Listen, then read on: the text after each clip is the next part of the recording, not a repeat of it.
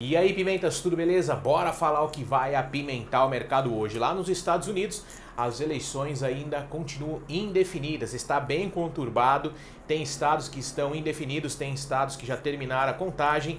Porém, o que o bicho está pegando é o que? Tem muito voto pelo correio ainda e isso pode causar sim a definição da eleição. Porém, na maioria dos estados que ainda continuam indefinidos, o Trump está liderando. Ontem à noite ele fez um pronunciamento dizendo que já garantiu sua vitória e também afirmou que se precisar vai até a Suprema Corte. Já o Biden está achando que isso daí é pura chacota, que realmente ele já levou. Bolsas do mundo inteiro estão operando aí na alta, na positividade. Porém, nós precisamos estar atento. Está operando a positividade por quê? Por causa do Trump? Por causa do Biden? A ação da tecnologia está subindo, a bolsa, aliás, da tecnologia está subindo quase 3% nesse momento.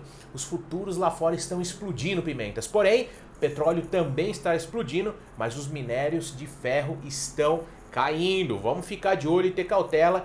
E por aqui a gente vai ter resultado de Alpargatas, Ering, o GPA 3 aí. Então vamos ficar de olho que a temporada de divulgação de resultados aqui também continua. Bora lá, ótimo pregão para cada um de vocês. Sucesso para cima. Valeu!